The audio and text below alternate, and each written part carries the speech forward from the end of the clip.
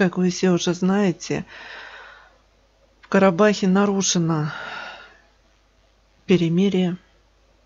Ну вот по этому поводу. Статья в Евразия Дейли за 13 декабря 2020 года. Баку.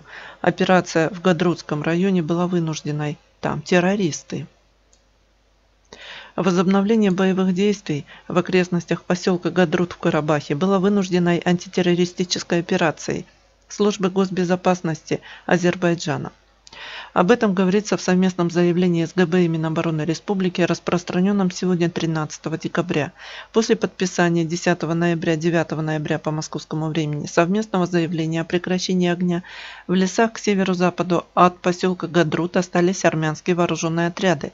Они не покинули территорию, а наоборот создали боевые позиции и совершили несколько диверсий в отношении азербайджанских военных и гражданских лиц, в результате которых погибли четыре и были ранены двое военнослужащих, а также ранен один гражданский.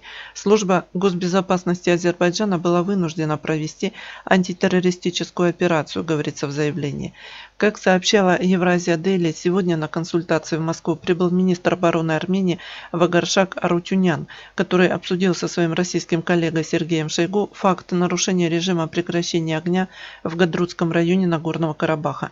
По данным Минобороны Армении, азербайджанские силы вошли в село Хин-Тагер, а также подошли на близкое расстояние к селу Хцаберт. В результате азербайджанской провокации у армянской стороны 6 раненых, у противника есть потери и раненые, указано в сообщении.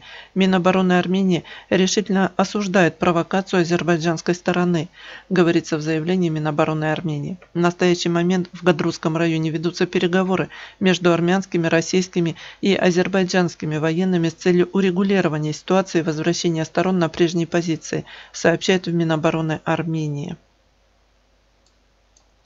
Баку. Операция в Гадрутском районе была вынужденной. Там террористы.